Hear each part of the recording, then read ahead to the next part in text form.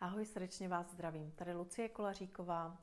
Možná mě znáte a víte, že v poslední době šířím téma tvoření osobní reality, čarování, králování ve svém životě. Co bych vám chtěla k tomuto tématu říct jako hodně důležitou věc a která je odpovědí na vaše pochybnosti a mnohé otazníky, které k tomuto tématu máte, chci vám říct jednu zásadní věc. Tvořit si svou realitu, čarovat ve své realitě, být královnou ve svém životě, to je něco, co je dostupné všem, všem nám ženám a jsem přesvědčená, že i mužům. Nicméně ženy a muži tvoří nějak jinak, různě a já se zaměřuji hlavně na práci se ženami. Chci to podpořit v ženách.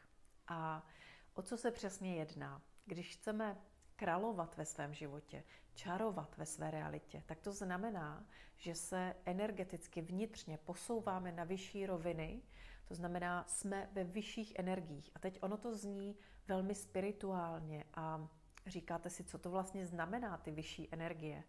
A já vám můžu říct, že když jste v těch vyšších energiích, tak to cítíte a poznáte. To znamená, je to fyzický zážitek, je to zážitek, který cítíte opravdu v těle, ve svých buňkách a cítíte také povznesení mysli, takže to cítíte i ve svém mozku. To znamená, není to nějaké mystické slovo, pozvednutí energie. A není ani možné to, že máte třeba strach a že máte kámen v žaludku nebo jste nějak naštvaní a zároveň se povznesou vaše energie nějakým záhadným, spirituálním, mystickým způsobem. Prostě pozvednuté energie, být energeticky výš a tvořit z většího nadhledu a tvořit vlastně z příjemnějšího eh, stavu bytí a z energeticky vyššího a silnějšího stavu bytí, to jednoznačně cítíte.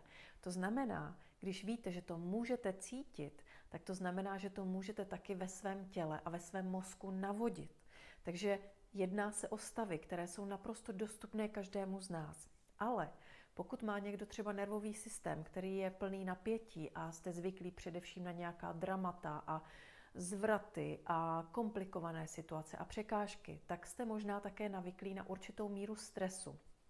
Navíc se na to budou vázat také programy vnitřní, které říkají, uh, to nemůžeš dosáhnout, máš svoje limity, nemůžeš změnit jen tak život. Život je těžký, je náročné vydělat peníze, nemůžeš si jen tak změnit práci, nesmíš se rozvést, jsi špatná a tak dál a tak dál. Spousta limitujících přesvědčení. Náš nervový systém a naše limitující přesvědčení to je vlastně uh, jedno a vzájemně se to ovlivňuje. Takže pokud máte uh, vlastně takovou zátěž ve svém nervovém systému a ve svých vnitřních programech, tak pro vás samozřejmě může na první pohled a po nějaké období, když se rozhodnete tvořit, vypadat tvoření vlastního života a povznést se do vyšších energií a tvořit z vyšších energií jako královna, čarodějka, tak může vypadat jako naprosto nedostupné a jako hloupost. Ale je to jenom proto, že vy jste to na svém těle ještě nezažili. Váš nervový systém tu zkušenost ještě nemá. A já vás chápu, protože já si to dobře pamatuju. Můj nervový systém dřív, když jsem mývala panické ataky, je to už přes 20 let, ale když jsem je měla, tak byl stažený. Já jsem byla um, uvnitř tvrdá a stažená a nervózní a úzkostná a nevěděla jsem, jak z toho vystoupit. A představte si, že můj nervový systém i dnes má tu tendenci jít do úzkosti, když je toho moc, když se zahltím, když si nevšimnu, že jsem překročila nějakou svoji hranici. Ale už vím, jak to uvolnit jak věci pustit, jak z toho vystoupit a nastolit v sobě během sekund úplné uvolnění a pozvednutí těch tvořivých energií. Takže já vás chci ubezpečit, že když se rozhodnete učit se tvořit svůj život, čarovat, být královnou ve svém životě, tak neděláte nic um, mystického, nic nadpřirozeného. Je to něco, co může být součástí vaší reality a vy pocítíte, když se to budete učit, pocítíte odpověď v tom svém nervovém systému ve formě nádherných povznášejících pocitů, ve formě fyzického uvolnění, ve formě pozvednutí sebevědomí. Cítíte, že ho máte přirozeně vysoké, se vší pokorou a se vší ohleduplností k ostatním, tak máte vysoké sebevědomí. Cítíte, že sedíte na svém trůnu. A jsou to jako nesmírně extatické prožitky v těle a i ve vašem mozku, jako vyloženě v hlavě to cítíte. Takže to je to, co vám chci říct jako základ. Takže my všechny ty prostředky a způsoby máme vrozené. A my máme vrozené schopnosti jít do vyšších energií a tvořit z vyšších energií my si potřebujeme vedle toho vytvořit také určité dovednosti, jak to dělat. To znamená vědět, jak to je s tou vizí a jak je to s tou kvantovou emocí a kvantovou smyčkou. A to znamená určité zákonitosti a pravidla to má. To jsou takové ty technické věci kolem toho.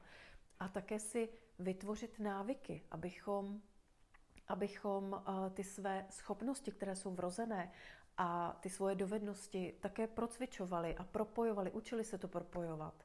Protože žádný učený z nebe nespadl. Ani my, kdo chceme tvořit svoji realitu a kdo ji tvoříme už teď, tak eh, jsme se to učili a učíme se to, pokud jsme se od toho v dětství odpojili. Já jsem jedním z lidí, kteří se od toho v dětství odpojili, protože jsem se snažila vyhovět, snažila jsem se eh, vyhovět svým rodičům, být eh, jiná, být lepší a hledala jsem a tápala jsem a odpojila jsem se od mnohých svých schopností, které jsem potom v dospělosti už sama daleko od svých rodičů znovu zpátky získávala a znovu jsem se to učila. A panické ataky byly právě i v tomto případě velkým darem, protože právě uprostřed těch panických atak jsem se naučila naslouchat. Možná znáte moji práci se strachem, se sebeláskou, tak možná víte, že jsem se učila komunikovat a naslouchat svému strachu, že jsem se učila si z něj dělat přítele, učila jsem se komunikovat s vnitřním dítětem, s, pěstovat sebelásku, pečovat o sebe, vnímat své potřeby.